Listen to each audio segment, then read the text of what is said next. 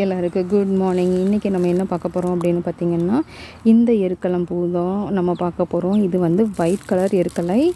And இதுதான் வந்து நம்ம விநாயகருக்கு வைக்கிறது. நிறைய கிட்ஸுக்கு தெரியாமல் இருக்கும். பட் விநாயகர் சதுர்த்தி வரும்போது ஸ்கூல்ஸ்லலாம் வந்துட்டு இதில் ப்ராஜெக்ட்ஸ் பண்ணிட்டு போகிறாங்க மொட்டு வந்து எப்படி உடையுது பாருங்கள் ஆக்சுவலி இதில் வந்து நாங்கள் விளையாடுவோம் கேம் விளையாடுவோம். நானும் என்னோடய கசின் கலை செல்வின்னு சொல்லிட்டு நாங்கள் செல்வின்னு கூப்பிடுவோம்.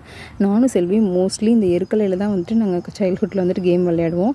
எந்த ஏரியாவில் எருக்கலை இருந்தாலும் போய் பொறிச்சிட்டு வந்துட்டு அது வந்து வயலட் கலரில் இருக்கும் அந்த எருக்கலை. எப்படி விரிஞ்சிருக்கு பார்த்தீங்களா இந்த மொட்டு மொட்டு கூட எருக்கலை விரிஞ்சிருக்கு. இந்த ஒயிட் கலர் எருக்கலை தான் வந்து நம்ம விநாயகருக்கு வந்து மாலையாக கோர்த்து போடணும்.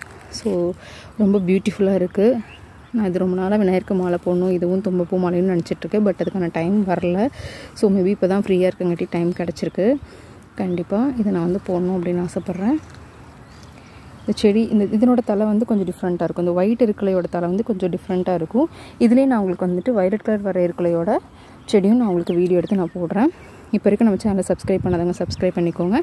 தேங்க்ஸ் ஃபார் வாட்சிங் டேக் கேர் பபாய்